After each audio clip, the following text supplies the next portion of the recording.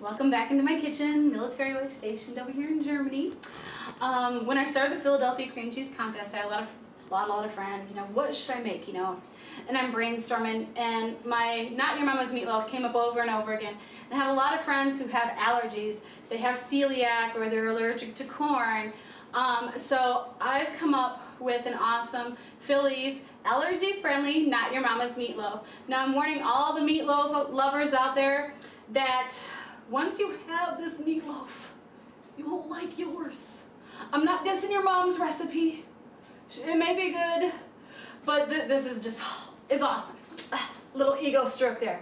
And the fact that it's allergy friendly just makes it that much better. And for people who don't like meatloaf, you will love my meatloaf. Again, ego stroke. Okay, are you ready? Very simple ingredients. Let's get started. This is great for people that don't like to touch meat. You can make it all in your mixer. We Have four ounces of white cheddar gluten rice crackers. You can use any type. I like the white cheddar in this one. I have eight ounces of regular Philadelphia cream cheese. Philadelphia cream cheese is great. It's all natural.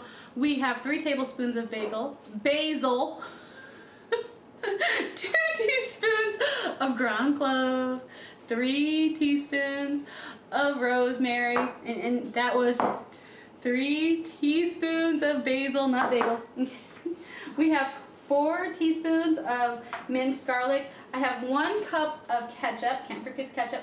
I have two, um, I call these large um, red onions over here because otherwise we get really, really small ones. So about, about a cup of onions.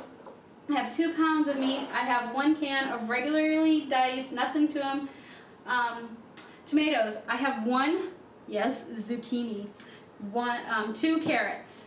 And then we have one and a half cups of, for the topping of ketchup. Use the food processor on our crackers. You can see all of this is ground up really good in the food processor. I've really liked using rice crackers in a lot of my breading. Gives it a little bit more crisp if you're frying stuff. But if you don't have any allergies, you don't have to use the rice crackers. You're more than welcome to use regular old breadcrumbs. Get to the sneaky part. Because we have a lot of kids that are really picky on vegetables. So that's where I add in the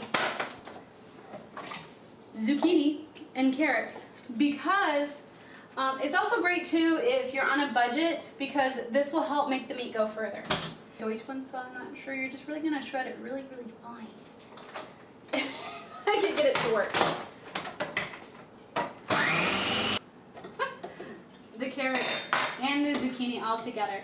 You're gonna put that in your mixer. Then you're gonna take a pound of your ground meat and put it in. And I have this really awesome star masher, and you just want to mash it up a little bit at first. Oh my goodness. I Forgot the eggs. Pause it. Everything's fine. You add your eggs. Four eggs. and the reason why you want your eggs in there is it helps mix it all together because the meat's really dry right now.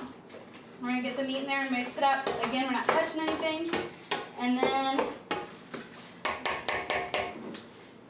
we're to add in, oh, which, come over here really fast, camera girl. You can see it's pretty good in there, and we're going to add the other one in there. And the reason why you want to do this first when you're using your mixer is if you don't, it's going to be really hard and stuff will fly everywhere. Not that that's ever happened. Ever. Only once. It was no fun cleaning meatloaf off the ceiling. okay, we got that really good mixed. We're going to add in our ketchup. We're going to add in the tomatoes. We're going to add the onions, but since I already got my food processor right here, I'm just going to do it in there.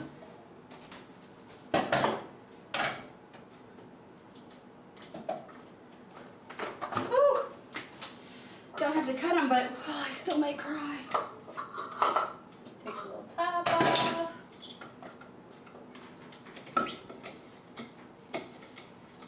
Alrighty. Adding the onions now. Because we already have my ketchup in there and the can of diced tomatoes, I'm going to mix it a little bit again with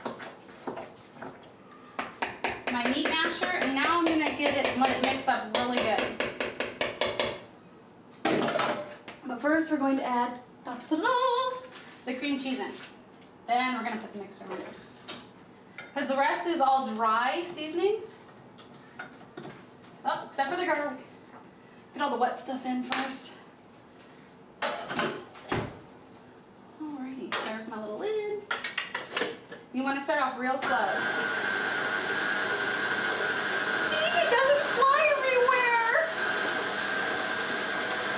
Then we're gonna add in our rosemary whites mixing, our cloves, our basil, not bagel, and our rice crumb crackers. Now let that mix really, really good. You can see that there's zucchinis in there, and you can see where the carrot bits are in there. But I'm gonna get this cleaned off and put in a 9 by 13 dish. You don't need to grease it. And uh, you can if you don't. If you're afraid it's gonna stick, you're more than welcome. But once we put the ketchup on top, you won't see it. And you can see it's just mixed together beautifully. Oh, it smells so good.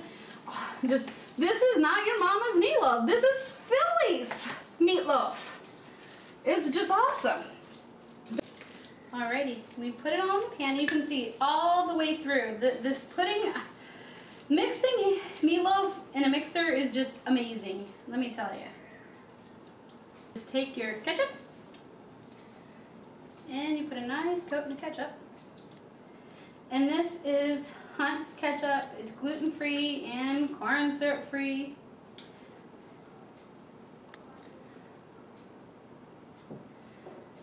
And see, when you cover it with the ketchup, then you don't see the carrots or the zucchini bits. And zucchini truly takes the flavor of whatever you're cooking. So you they, they won't know because they won't taste it. It will take all the flavor. And same for the carrots. Carrots just helps it go a little bit further and it gives a little bit extra vitamins in there. It's gonna cook for just about 45 minutes. I want to say half an hour, 45 minutes, depending on your oven. Please check, okay? Because I don't want to tell you 45 minutes and your oven cooks it in half an hour and it's all brown and burnt and then be like, this ain't like my mama's. Or it could be, wow, just like mom's. hopefully your mom doesn't burn things. Because remember, when you burn, you learn. It's okay to make mistakes. Not that I ever do any at all. About 375 um, Fahrenheit, degrees Fahrenheit for the States. About 200 Celsius here in Germany. Like I said, remember, check your meatloaf. Mine cooked just a half an hour. It was already starting to get darker on the edges. In that time, did some salad and I just did my twice baked potatoes in the microwave and then I mash them up. Now for the meatloaf. Oh, it is so good. Okay.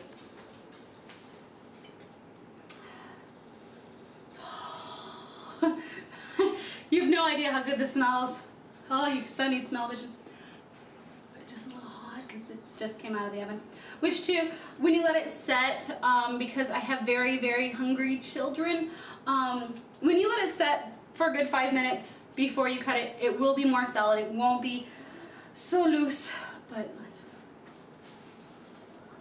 Mmm. Mmm, mmm, mmm. Oh my gosh.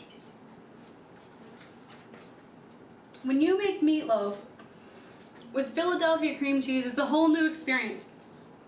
The cloves, oh, just oh, everyone thinks that cloves are supposed to be in sweet food. Psh, nah.